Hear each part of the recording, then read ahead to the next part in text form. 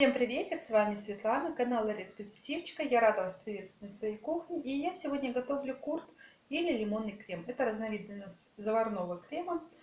И для начала необходимо подготовить два лимона, которые я предварительно обязательно необходимо помыть. И с этих двух лимонов мы будем снимать цедру. Это желтая часть. Обязательно снимаем только желтую часть. Белую мы не трогаем, потому что белая дает нам горечь.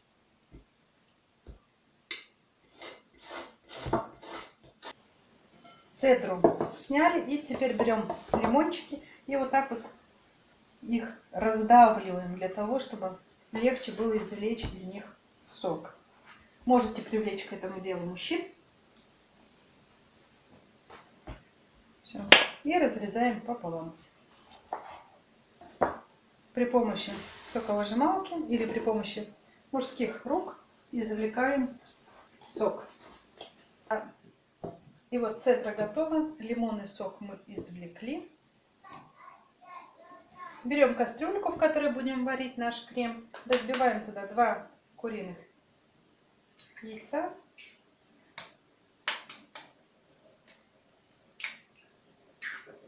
А, сок у вас должно получиться 100-120 грамм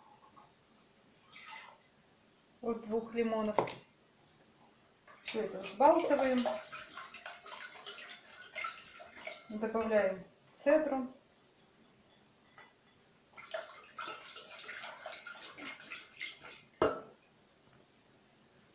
И также нам понадобится 110 грамм сахара и 40 грамм сливочного масла. Все это перемешиваем и ставим на плиту. На маленький-маленький огонь, постоянно помешивая, потому что здесь яйца, чтобы не получился омлет. А, увариваем до загустения. Вот такой вот консистенция получается корт. Теперь при помощи ситечка обязательно процеживаем его, убираем цедру.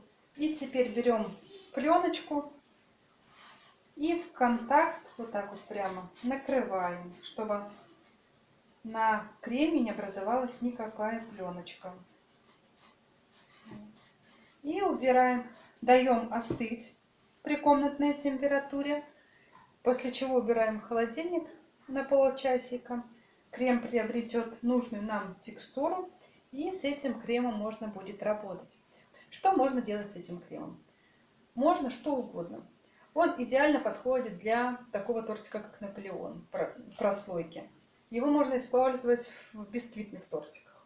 Его можно использовать для начинки для капкейков, эклеров.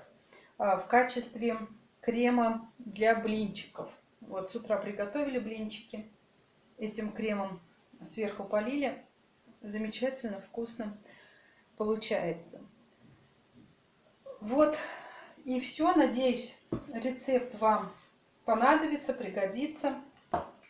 Если да, то ставьте пальчики вверх, подписывайтесь на канал, вступайте в группу ВКонтакте. До скорой встречи. Пока-пока.